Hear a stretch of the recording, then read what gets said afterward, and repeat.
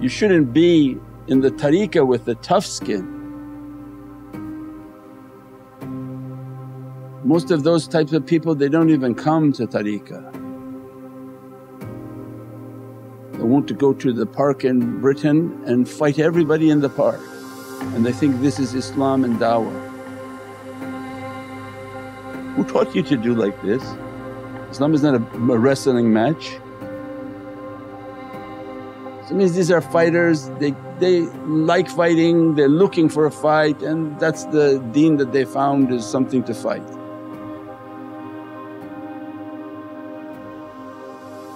But ashiqeen they're looking for divine love.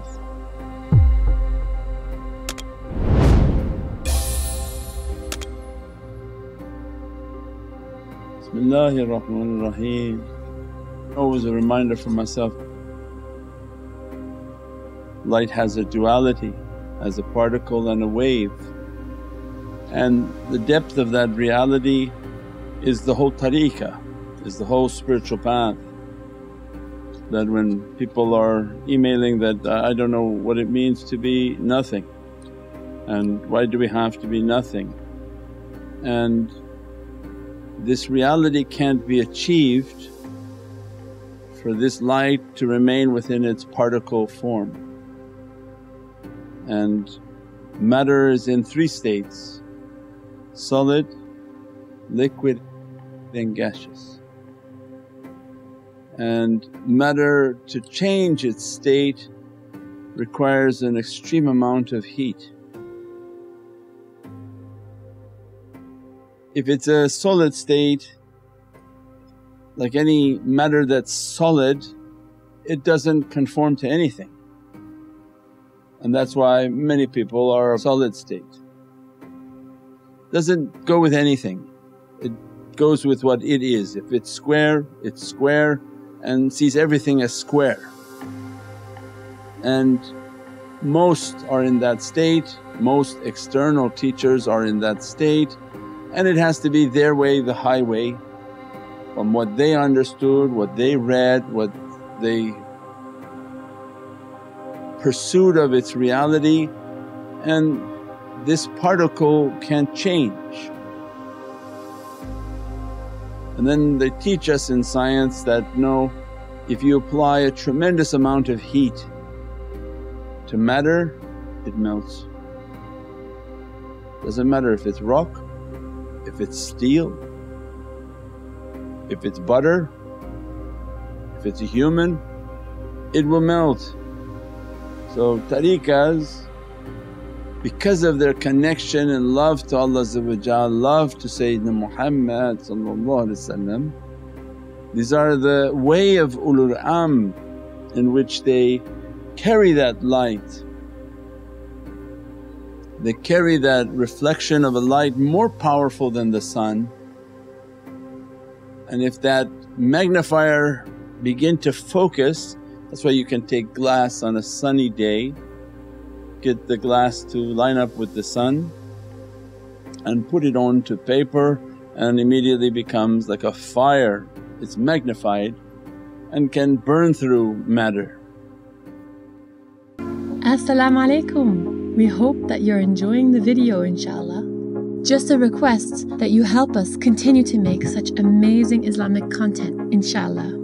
Share this video with your friends and loved ones, subscribe to the channels and donate. Every bit helps.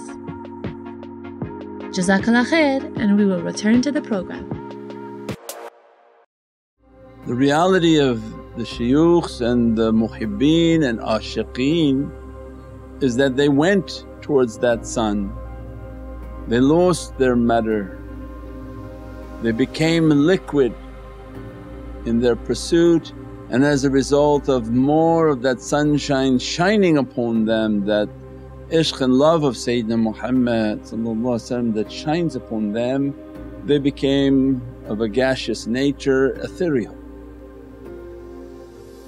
That their matter was brought down, their solid state was brought down, their liquid state gave them to be very easy with people and as a result of more ishq and more love approaching that reality they're easily ethereal and that they are of a wave nature always being dressed by that reality, blessed by that reality. So it means that anywhere we look in these sciences and understanding because it has to make sense. Complicated Islamic terms doesn't mean anything for somebody. But to understand in everyday science, you do it in school, you've learned it in school, you understand it that if you live your life solid, very hard, what you understand that's it and the shaykh can easily interact with somebody and senses they're very solid, they're nowhere near a liquid state. And that's the, the reason for accompanying a guide. Whether now through email, through teachings, through all of these interactions because as soon as you watch either that day, that night or tomorrow you'll be tested.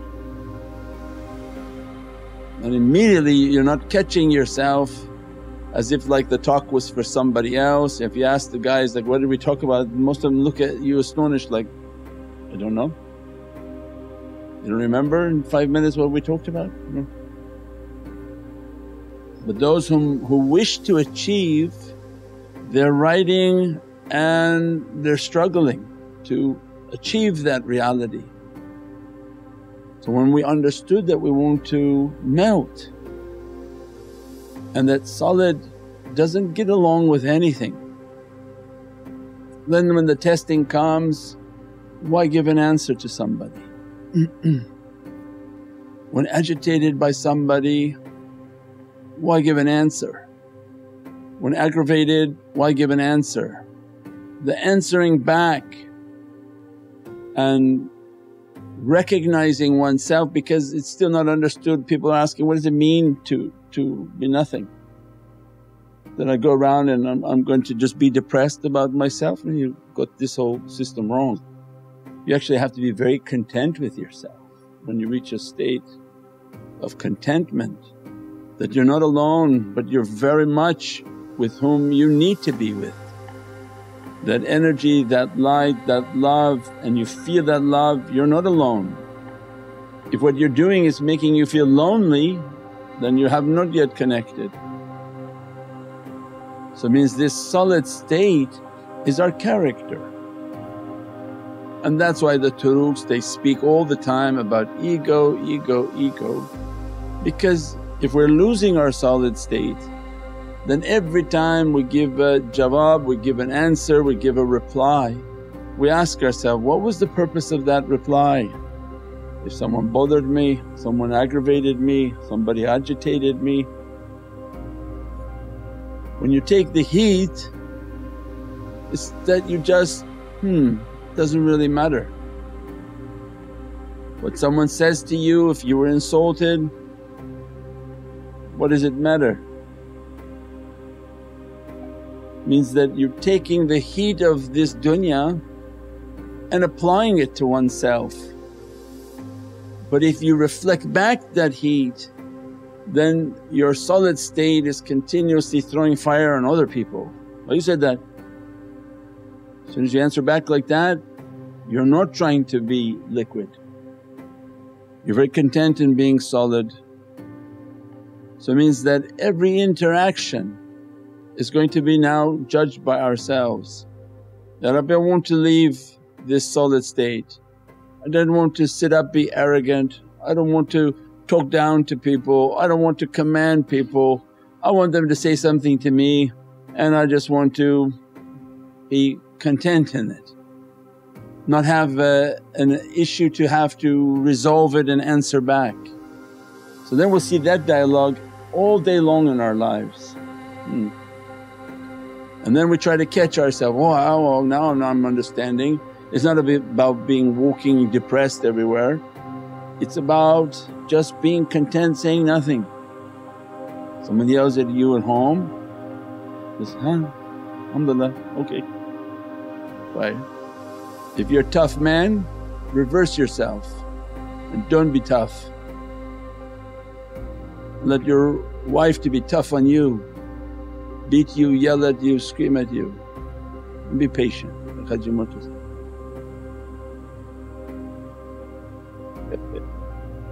Right? But your culture teaches you to be a tough man, aggressive man. But it's ruining your spirituality, destroying your spirituality. Because there's only two of you in the house. Who's going to test who? The feminine is already soft. It's the masculine that's like a hard walnut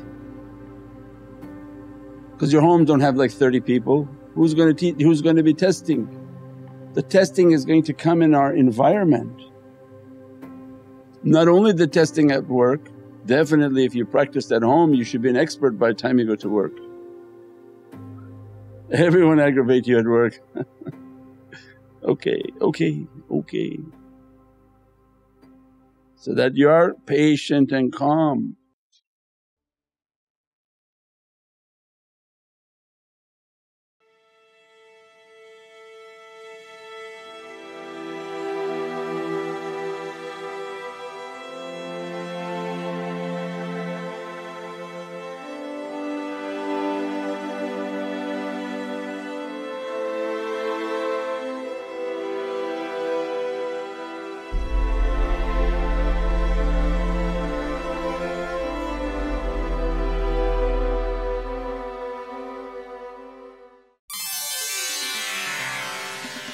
Eastern cultures use teas and herbs as an elixir of health and wellness.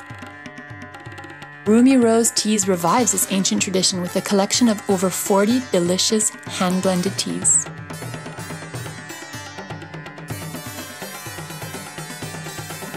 Enjoy God given health and wellness within every cup of Rumi Rose tea. Order online now.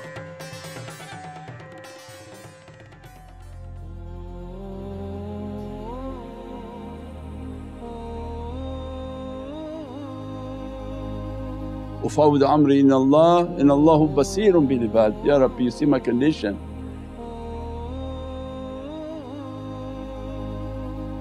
And then the testing begins, the children begin, the family begins. And we remind ourselves that this is a path of humility, let me just to be humble and let me just to be soft and my character to be soft. But if they're going over the cliff then I'll regain the control of this car.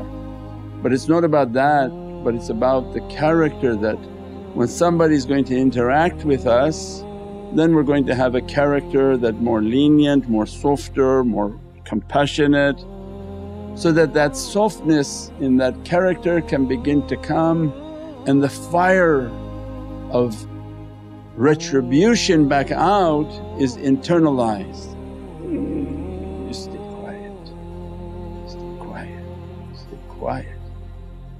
So that that fire is not out but it's in.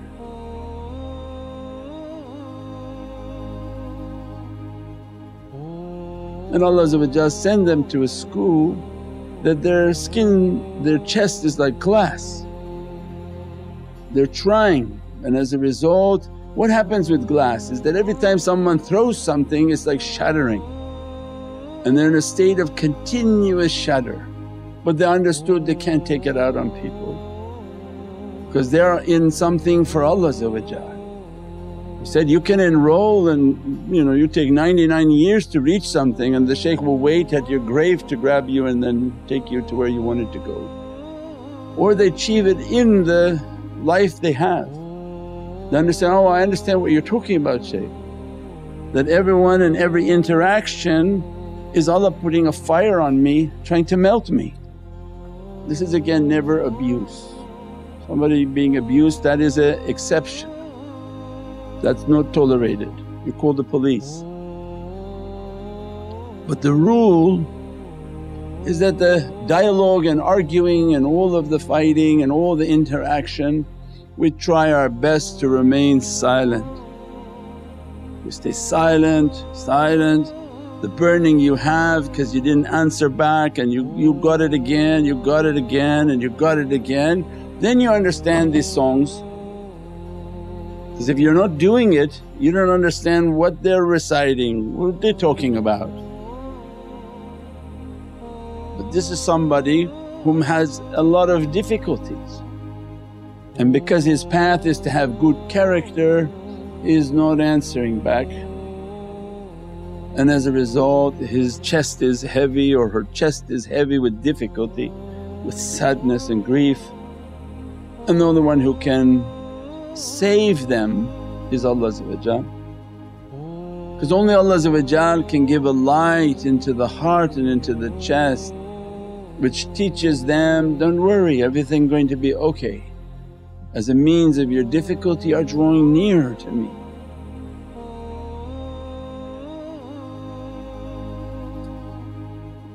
You know you're going to play a little bit and go or you're in it to receive it and to achieve it. And that becomes our life and that becomes the example of the shaykhs. That's why Allah says, follow them because they're in it to the end to take their last breath.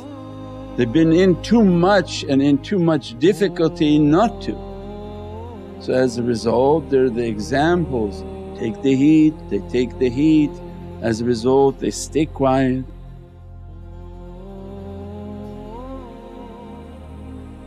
Anything external is not for Allah Tariqah has nothing to do with that.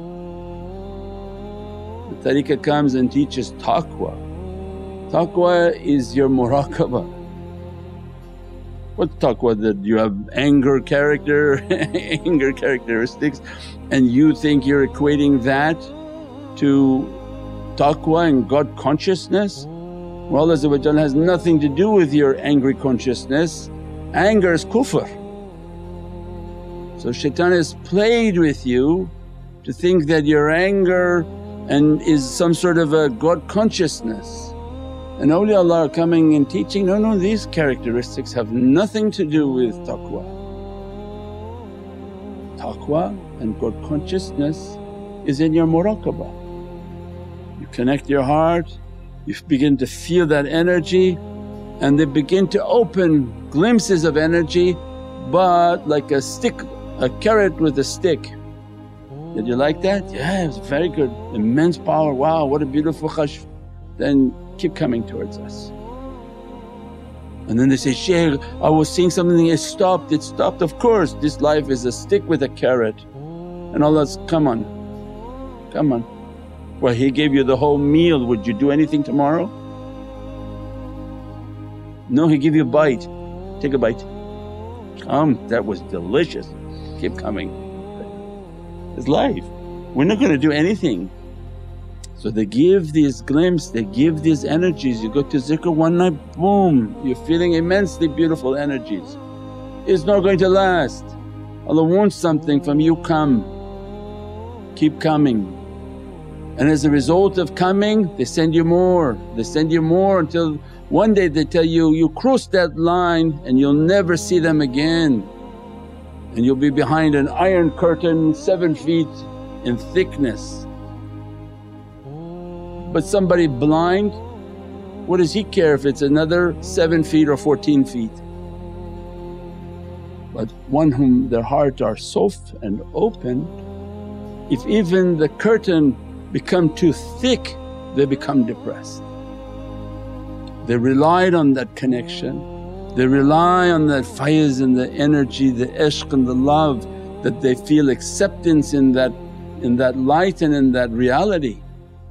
And if for a moment Allah to become angered with them and that Allah begin to build the parda again, they become depressed, they can't function, that's taqwa. Because they are a faith of witnessing, as a result they fear. They fear Allah will close the door upon them. But one whom is already behind the door it doesn't even care what how many times it's been closed. That's not taqwa. If you're blind you have no taqwa. Your anger doesn't give you taqwa. Real taqwa. Why? Because Allah look at the station, ittaqullah wa.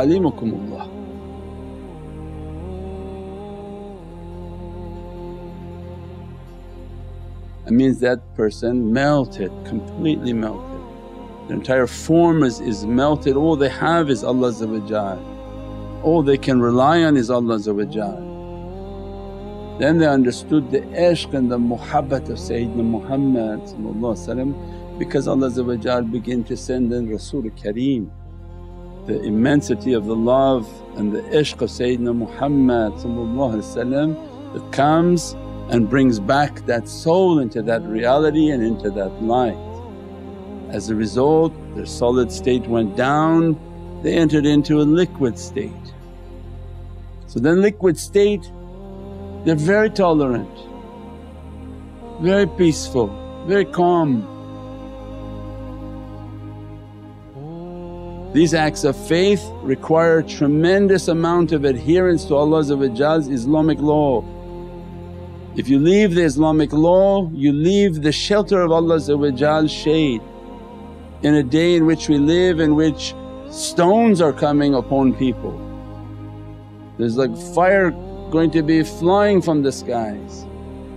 So their duty is to bring people, come, come, come, don't worry about it, let's not discuss it right now, come in, feel the ishq, feel the love, feel the desire to please Allah When you feel that love then you should be challenging yourself to be doing more, adhering more, trying to challenge yourself that I want to submit more. And that's why only the the liquid shaykhs can do that. Because the solid ones they ban everyone, no one talking to him, nobody gonna come. But for this audience has to be liquid to be tolerant and then to lift them up. We pray that Allah dress us and bless us and that give us more and more understanding of how to lose a solid state, how to be patient and tolerant through everything and make no excuses that, no this, this time I have to be angry. It just stops the formation of a liquid state in which everybody wants to be liquid. Everybody wants to have experiences, everyone wants to have the, the benefit of the tariqah teachings but in their solid state they can't reach it. We pray that Allah give us more and more understanding of the good character, be patient, be tolerant and that Allah open these realities for the soul inshaAllah. Subhana rabbika rabbil izzati amma yasifoon wa salaamun al mursaleen walhamdulillahi rabbil alameen. Bi hurmati al-Mustafa bi sirri Surat al-Fatiha.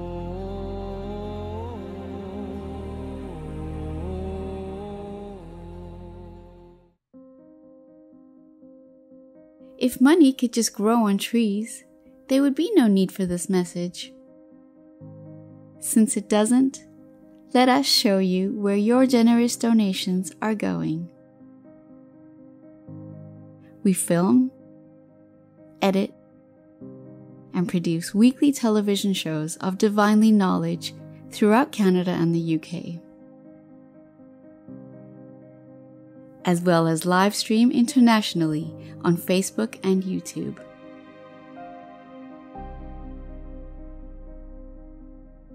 Sheikh Nurjan's ever growing online presence is the result of continuous financial input, and with your financial assistance and participation, this rapid growth will continue. Our Muhammadan Way app is continuously being upgraded and improved, providing an all encompassing Islamic guide. In addition to the Muhammadan Way app, NurMuhammad.com is a website of immense knowledge and comprehensive Islamic teachings that is updated daily.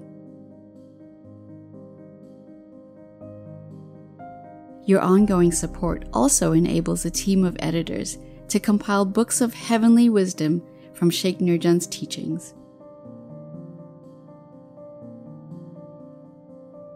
One of our longest ongoing initiatives has been to provide basic necessities to the most in need worldwide. From feeding people in Vancouver's downtown east side, to clothing LA's homeless community, and supporting a children's orphanage in Pakistan. Your ongoing donations will help us continue to spread the love and example of the Holy Prophet Muhammad, peace and blessings be upon him. Become a shareholder in Immense Blessings. nurmuhammad.com forward slash donate.